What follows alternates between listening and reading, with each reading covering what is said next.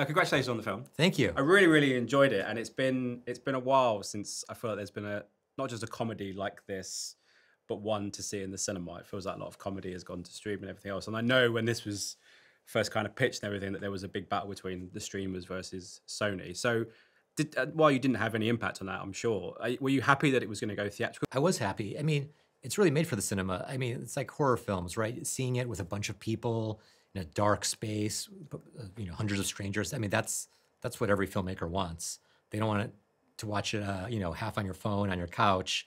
It'll get there anyway, but I like at least to have you know some time in in cinemas uh, for people to see it some some some things get lost when you're not sitting in a in a dark theater watching everything together. absolutely, and it, it, gives you permission to laugh in a way too. And um, you know, sometimes you know the opposite is true, where people are laughing so much you miss things, and then you watch it again at home, and and you pick things up. But yeah, it's a all my formative um, memories of, of seeing comedies in theater or in theaters.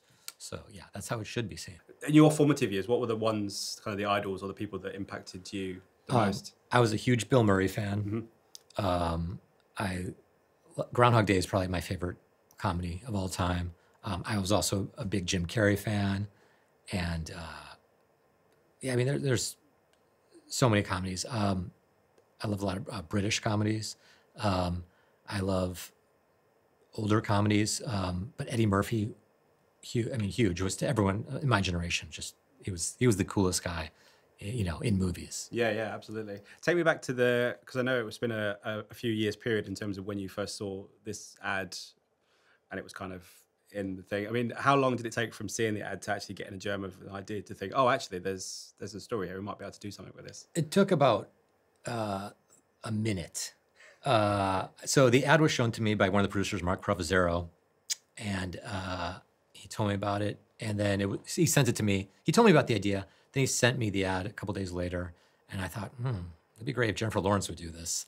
Um, and so, cut the four four years later, here we are. But yeah, it, it took you know it was a, a, lot of time to write the movie and rewrite it and stop and and and start it up again. But um, it was clear to me that there was a really dynamic situation here between these parents uh, their son and this woman who's in a particular situation and uh, how they all come together. I, like loads of people, are a huge fan of, of, Jennifer Lawrence, and she's always been somebody that's always spoke about her favorite comedies and what films she grew up in, but she's never kind of done one. It feels like everyone's been waiting for her to do to jump into a comedy, right. especially one like this, which seems very suited for her. How important was she to you as a filmmaker to have her not just involved as an actor, but obviously then as a as a producer as I well? Mean, the most important decision of the movie. Um, and you know she, she brings a certain um, she demands to be ta- taken seriously you know as, as an actor because she's so good um, and it just it, it, it, kind of frames the movie in a, in a totally different way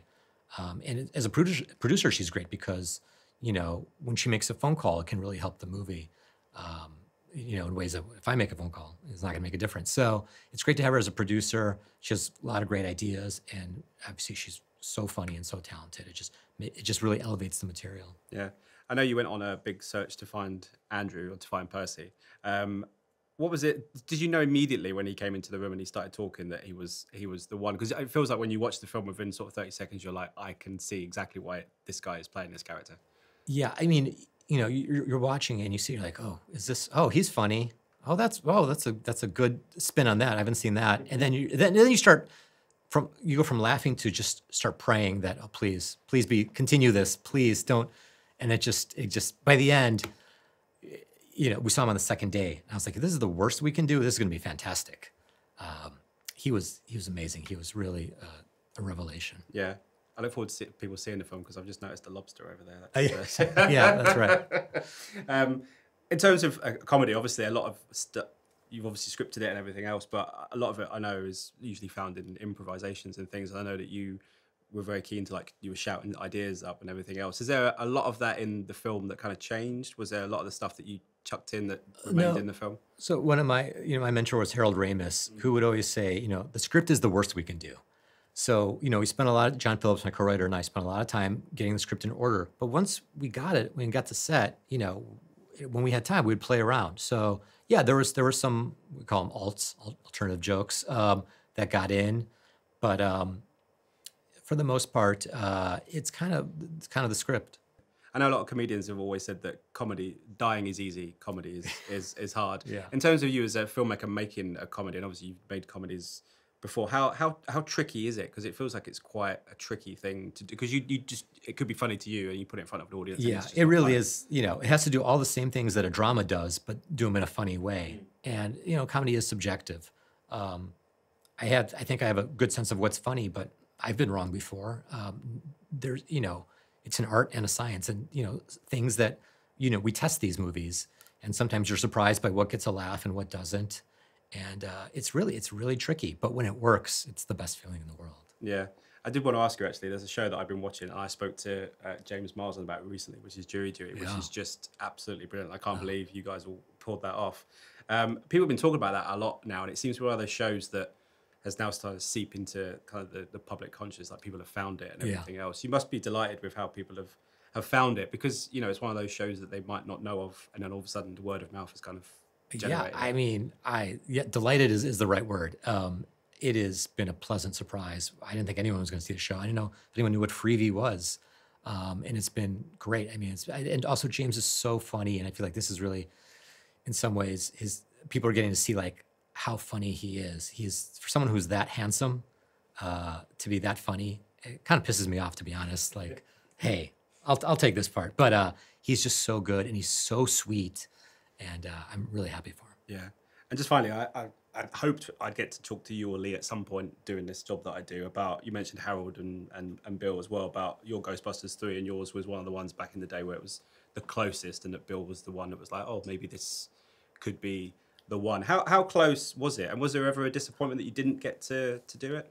Um, yeah, I mean, it was close. Sony greenlit the movie, and Bill just never read the script, uh, and they couldn't really chase him. You know, Bill is is a uh, his own his own person, and uh, he just never really. Uh, he, at that point in his life, he didn't want to do it. So it's like there was just, what can you do? Yeah. As a fan, did you enjoy Afterlife? It seemed it seemed to have a fan. Obviously, the sequel's I did coming out at enjoy it. Yeah, Christmas, I did very much. Yeah, I good did, stuff. yeah. Well, it's lovely to meet you. Thanks so much for your time. Really Thank enjoyed you. the movie. Thanks so much for your time. Thanks so much. Pleasure. Cheers. Ladies and gentlemen, you're watching HeyUGuys! Hey, you guys! Hey you guys! hey, that's what they all say. Hey you guys! Hey, you guys!